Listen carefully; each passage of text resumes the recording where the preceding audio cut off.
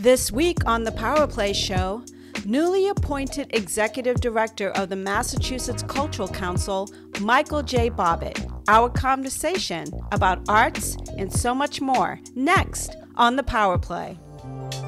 From the studios at Hull Bay Productions, this is the Power Play. Welcome to the Power Play. I'm your host, Tonya McGrath. Michael J. Bobbitt can talk the talk because, well, he's walked the walk. He's a director, choreographer, and playwright. Now, Michael has cemented his dedication and contribution to the arts by being named the highest ranking cultural official in the Commonwealth of Massachusetts. Michael is the new executive director of the Mass Cultural Council. What does the council do, and how will his new role continue the development of arts and cultural projects in the state? We have a lot to cover with my guest this week, Michael Bobbitt. Welcome to the Power Play. Thanks so much, Tonya. Every time I hear highest ranking cultural official, it kind of gives me butterflies in my stomach. What a cool title and what a lot of responsibility to have. Do you like kind of look over your shoulder like, are they talking about me? sometimes, sometimes I have to remind myself, but I'm excited about it. Well, we're excited that you are in this position, and I can't wait to talk to you about a lot of the things that are going to be coming up for you. But first, you know, you spent your life in the arts, we can say. Um, but give us, audience, a little bit more about who you are, where you're from, and how you kind of landed in this role.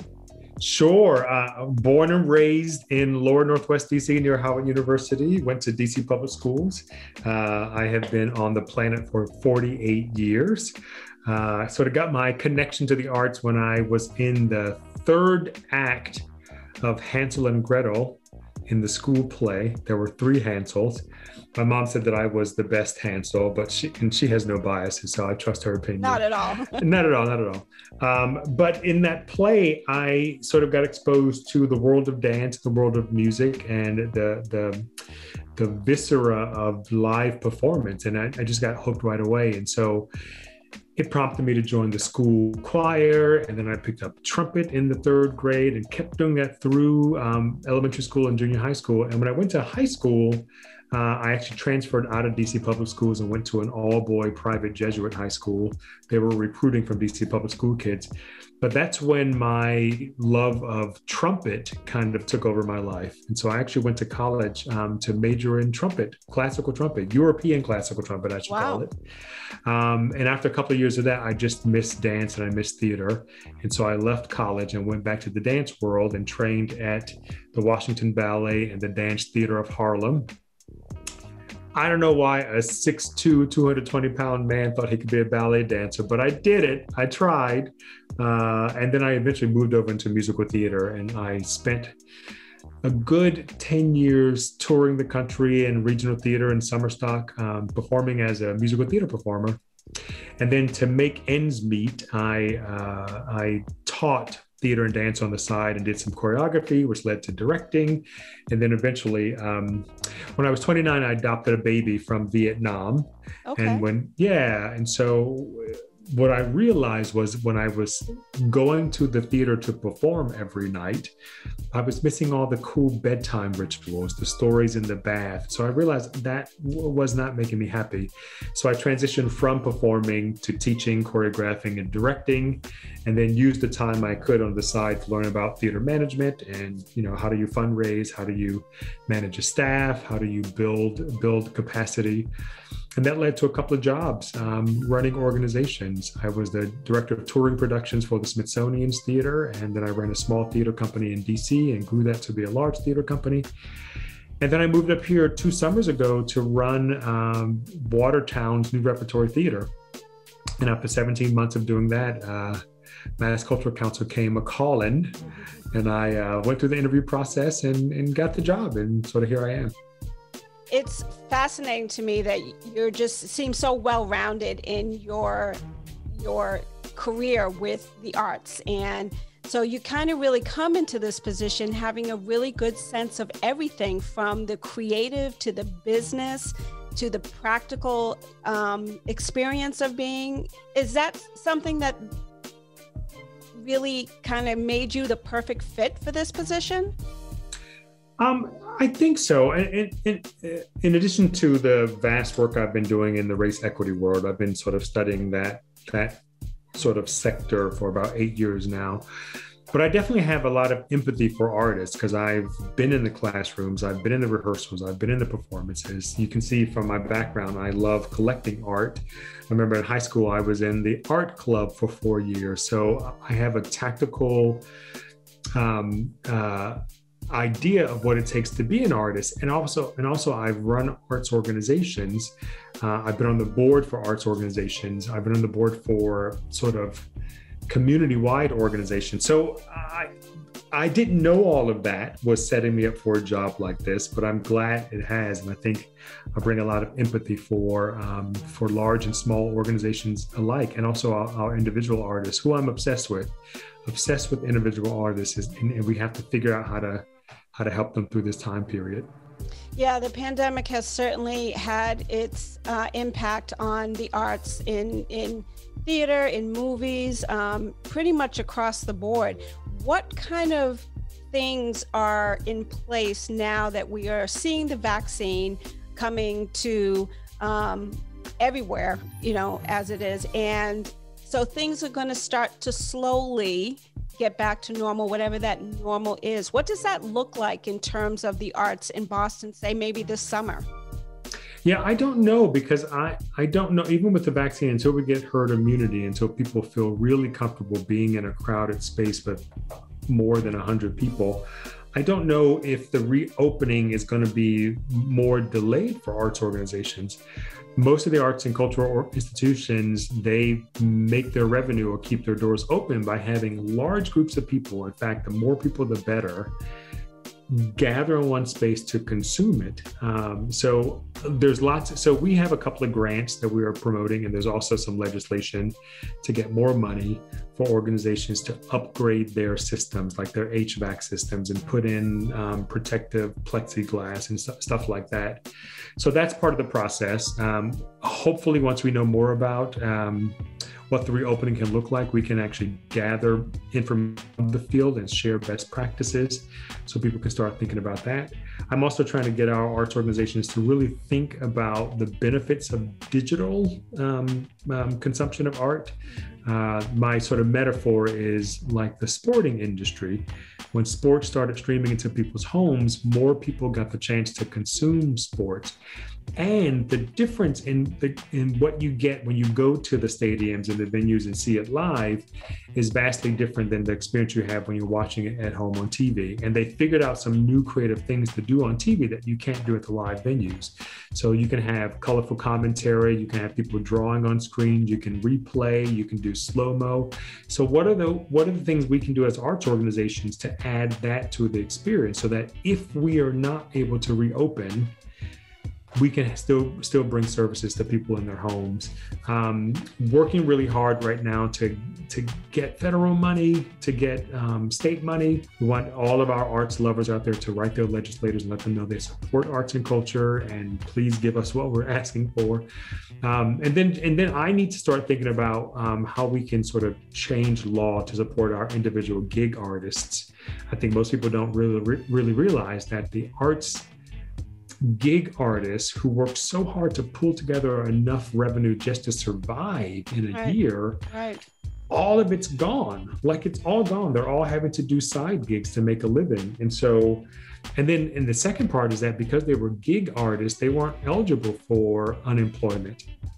And so wow. there, yeah, we just learned that that I think it was more than 20% of um, unemployment. The arts industry was hit higher than any other industry by like 20 more than 20% so a lot of brainstorming is going to have to happen a lot of collective thinking so we can really bring back this whole industry have you talked to any of the artists themselves? Because I, have had a couple of interviews with artists who are just not working right now.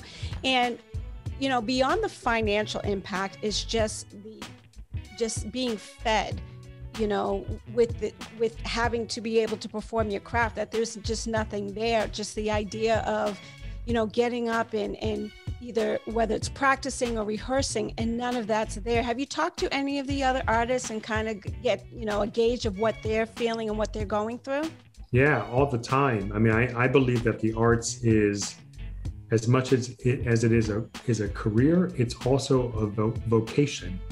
So it called you. It's not something that you are called to. It called you to, to, to be a part of it. And it's the thing that feeds you. And that's why so many artists love it. Even though they're getting underpaid and they scramble to keep jobs, when they get that opportunity, they are just so fulfilled with the work. And so to not have any of that, it uh, some of the artists I talk to, it sort of goes to your the center and the core of who you are as a person because if you can't do this thing that I am known for, that I've trained for all my life, then who am I? Right. So there's a lot. It, it, it, breaks my heart, but uh, I, I we, we, will survive. I mean, we we're resilient people, and I think we'll survive.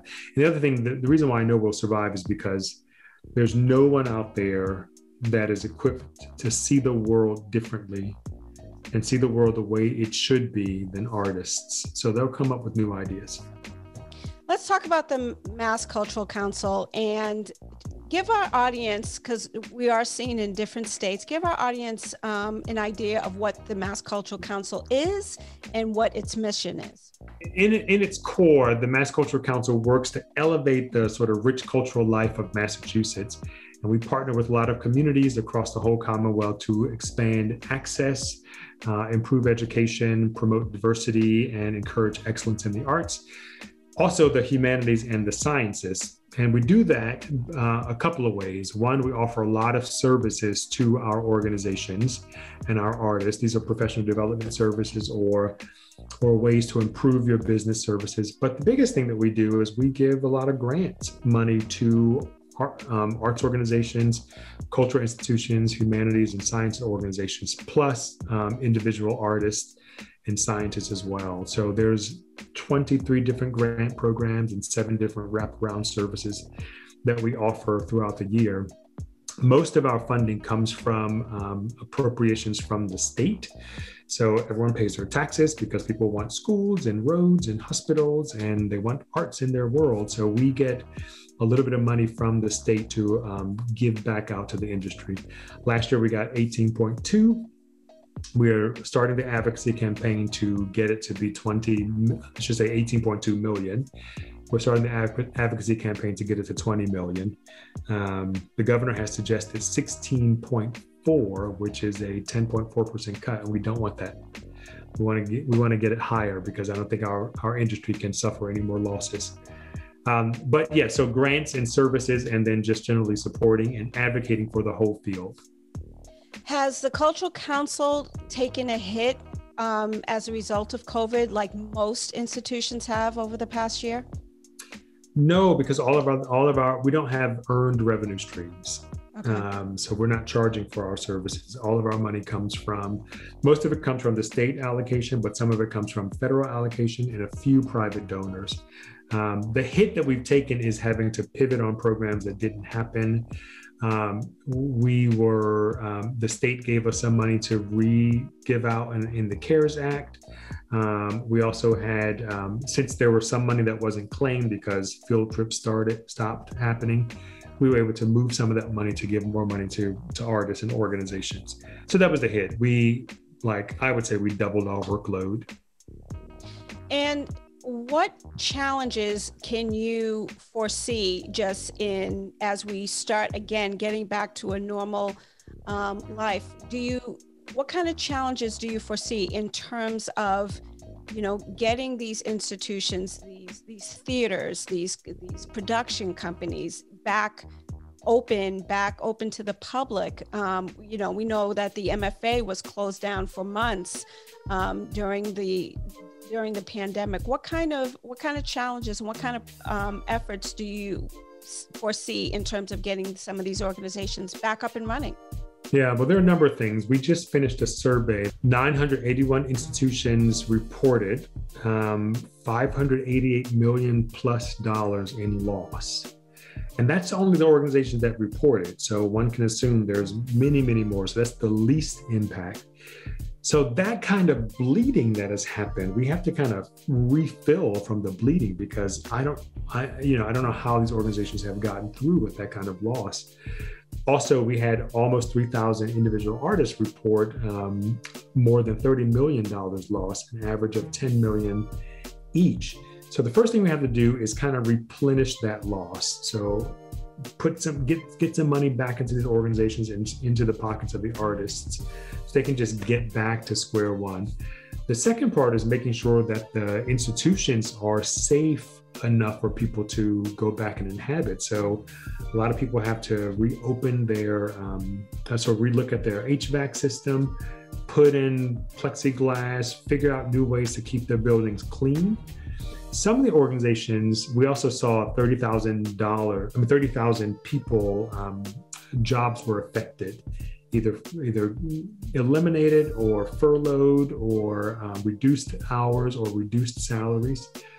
So many of the organizations looking at reopening don't have enough staff to actually reopen. So how do you how do you fix that? Um, and then the last big big thing is is when are people going to feel comfortable leaving their homes and going back into spaces where lots of people are gathering? So there's a number of things, and I think it's going to take a lot of creativity and a lot of work not only from the arts and culture sector, but from anyone else that benefits from the visitorship that happens with arts and cultures.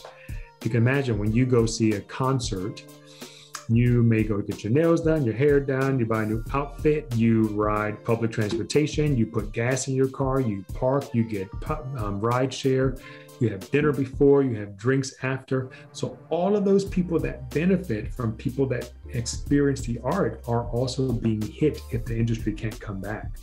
Uh, so, it's this strange, weird trickle down effect um, that we, we have to worry about as well.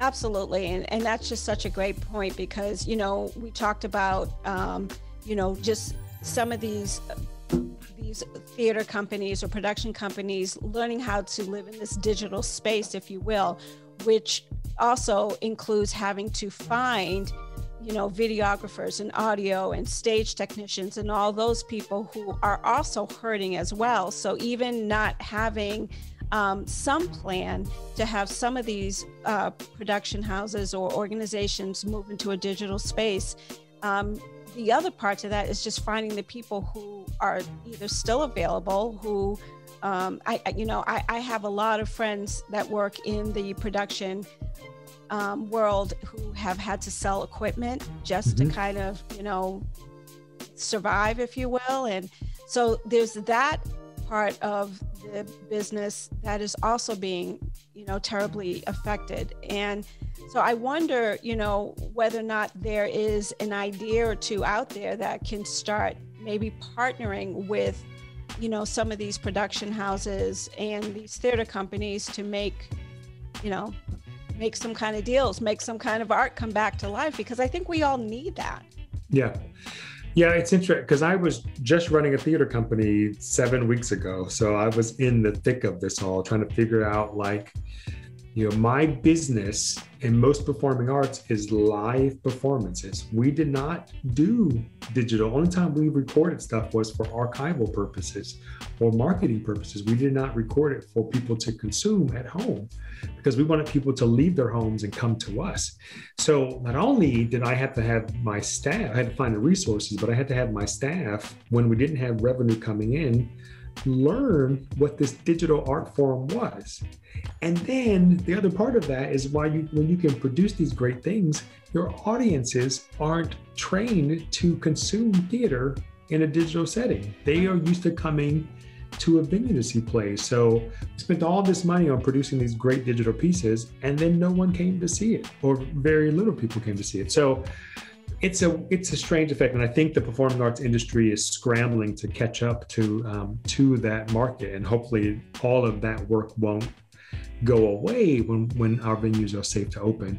And I think to your point, it's going to take a lot of creativity, and I'm confident that that when we find the space in our day-to-day operations to to to innovate and to talk to people outside of our field we're going to come out of this well the hardest part is that again i was just doing this seven weeks ago the scramble just to bring in money and keep people employed didn't give you enough space in your day to day to think about what the future is. You're just, again, the whole time is thinking about stopping the bleeding. I am bleeding, yeah. I'm bleeding, I'm bleeding, yeah. I need a tourniquet. And so um, I think that that will happen. And I think, you know, the investment maybe needs to be in um, a big, massive collective marketing campaign, kind of like the I Love New York campaign that they did in New York. Yep. Um, I also think an investment in um, arts education and exposure to education for the youth. It may not help things right now, but if we want to have like great arts patronage and great artists in 10, 15 years, we got to like get our kids now. I think diversity is another tactic to help us um, fill our houses when we reopen. If you think about it, the brown and black people that I know love, love arts, and it's deeply part of our culture. But most of our institutions were designed to be predominantly white. And so, if those organizations, as their business model, can redesign to be predominantly multicultural, then you may attract a lot more people to your venue that you haven't attracted before. I also think we probably need to sort of start investing in creative placemaking, outdoor spaces. Uh, in a capital way, so we're building these waterfronts up or these parks so that people can can collect around art um, in in a safe open space. All these things are starting to rise to the surface as I start thinking about what the Mass Cultural Council can do. Uh, you touched on diversity a bit, and I was actually going to start turning my discussion to that. And because one of the things that fascinates me is the number of just incredible cultural institutions that we have here in the Boston, Massachusetts area. And yet there's still a huge gap in diversity when it comes to those who visit these institutions. Um, how how can we start narrowing that that gap that idea that you know we have all this wonderful um, amazing art here and yet you know, and some of these institutions being right in the middle of Boston, Roxbury area, but yet there are people who aren't from these communities that are going to these institutions. Yeah, and I and and, and it's interesting because there's not a mystery behind diversifying, but it it does feel for some reason to be this aloof thing that that they have a hard time understanding. What has to shift is the culture the culture that puts one race of people higher than another race of people. And that shift has to happen. And so, sort of my example earlier is that most predominantly white institutions, and that's not just the arts, that's any any sector, were designed to be predominantly white. That was their business model. They were making whatever they were making for white people, and it was being made by white people um, specifically. And it's not to say those people were bad, that is just what they knew, or that was the market. And maybe in some instances, they were doing it to keep people of color out. What we have to do is go back and look at our whole business model and say, I want to attract a predominantly multicultural or multi, multiracial client base. That means I have to go back and restructure my whole business model to be that way. That means you have to look at who's in leadership, you have to look at who's on your board, you have to look at what you're programming, you have to look at what policies, and you have to change anything that holds discrimination or inequities in place. And that's a really hard thing for people to do. But I always tell people build an action plan. If you build an action plan that has measurables, then you'll usually get to there. Most of us get stuck in the belief or the solidarity without action statements. I tell people all the time it's like if you've ever been cheated on before, you become hyper vigilant. You're like, yeah. I want to see, let me see your email. Who are you texting? Where you talking? What time are you coming home? Let me, who are you talking to? The person that cheated could say, trust me, I'll never cheat again. They can say it a hundred times. It means nothing until right. your actions are proving that you are trustworthy. And a lot of times we see solidarity statements or Black Lives Matter posted by organizations, but we don't see any action. That to me is actually worse because it says, I acknowledge there's a problem, but I'm not going to do anything about it. My dear friend Rob Stull became the first local artist whose work donned the facade of the Museum of Fine Arts. Um, I spoke to him about what that meant to him uh, back in January, but I wonder, you know, what kind of impact did that have on you? He's he's from the Boston area, African American artist, uh, comic book artist. Um, extraordinaire. And to just kind of drive down Huntington Avenue and see that for me was just, it was mind blowing. And I'm wondering, you know, what did you see it and what kind of impact did that have for you? I did see it. In fact, I got to work on a song that was inspired by that artwork. I worked with Makiba McCrary. I'm oh, sure you yeah. talked to Makiba. Um, we worked on a project together. Uh, I can't wait for that song to be released to the world. Um, but it's it you know, it's always strange to me that we say the first black this or the first black that in 2021. I just go, that's ridiculous. And it's weird to see that and hear that. Um, but to see that was really incredible on the outside of the MFA. I thought it was a big signal to the world that we are becoming multicultural.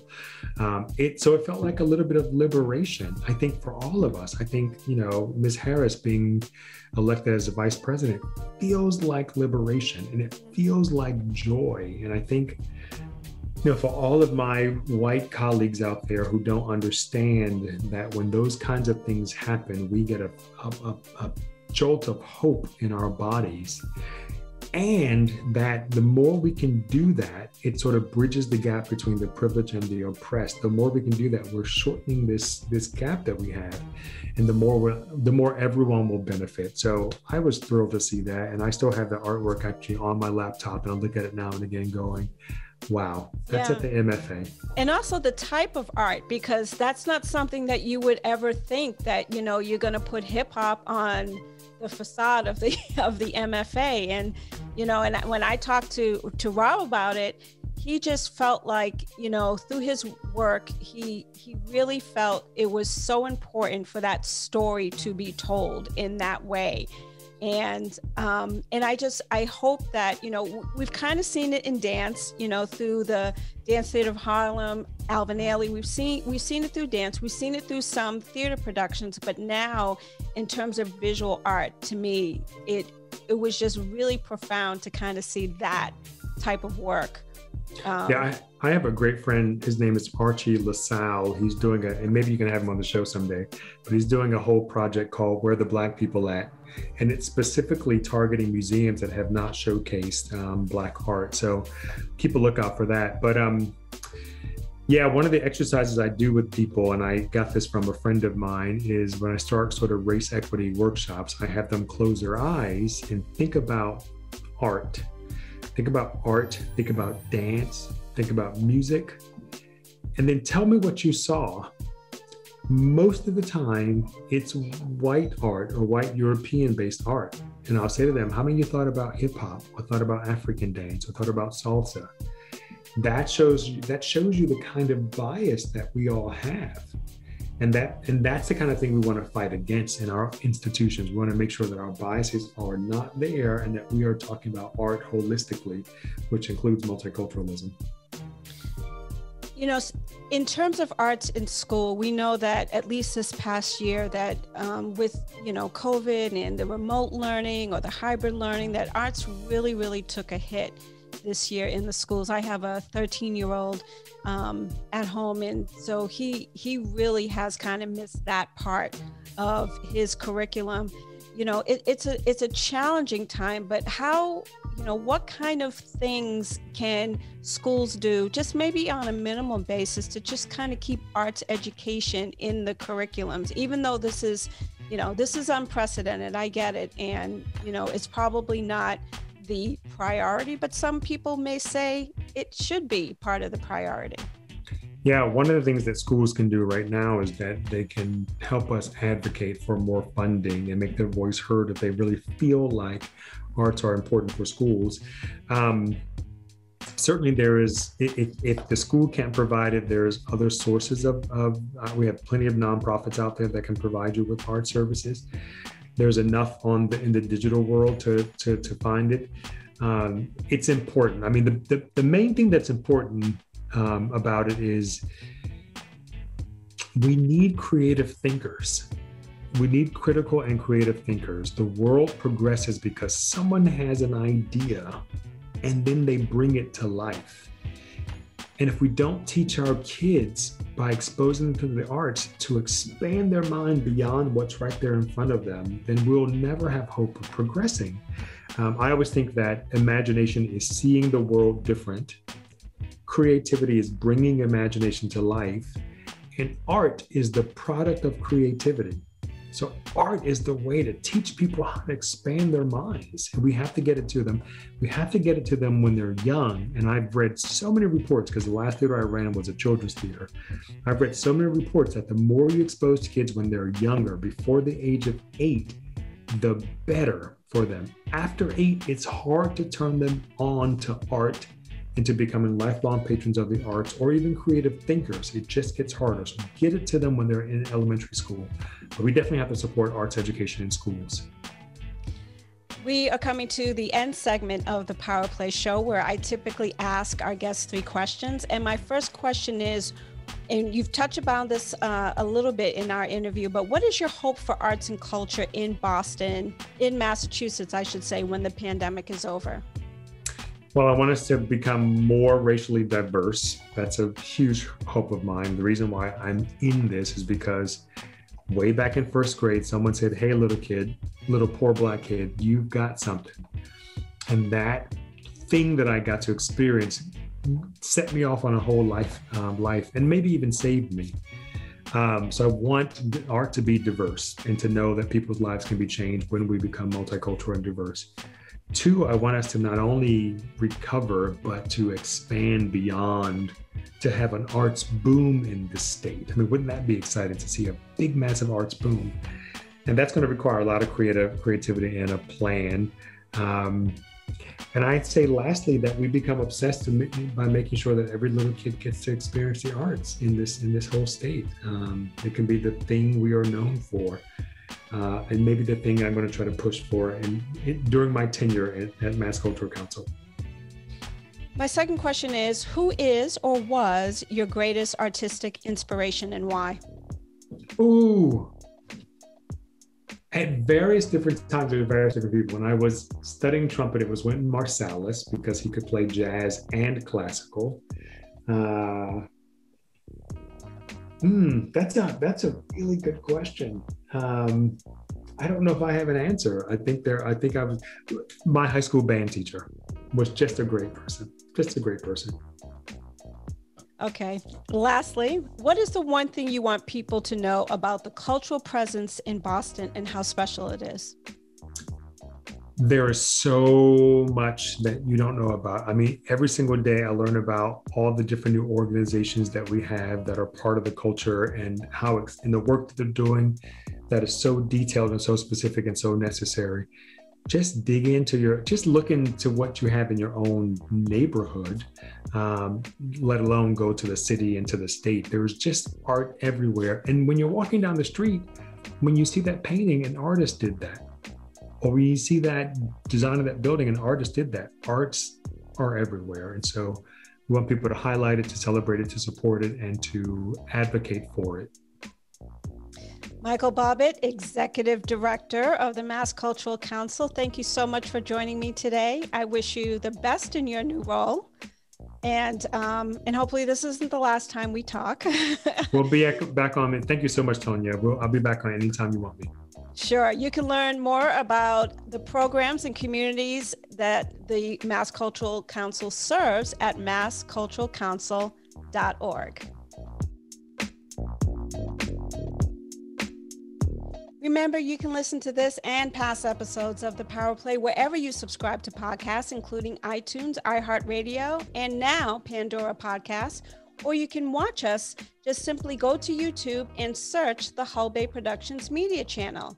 And we air each and every Saturday at 5 p.m. on BroncoIRadio.com. So be sure to tune in to a new episode of the Power Play Show each Thursday at thepowerplayshow.com or wherever you subscribe to podcasts, or watch us on our YouTube channel. Simply search the Hull Bay Productions Media channel. And again, can just visit our website at thepowerplayshow.com. Until next time, I'm your host, Tonya McGrath. Put on a mask, stay safe, and protect yourself and others.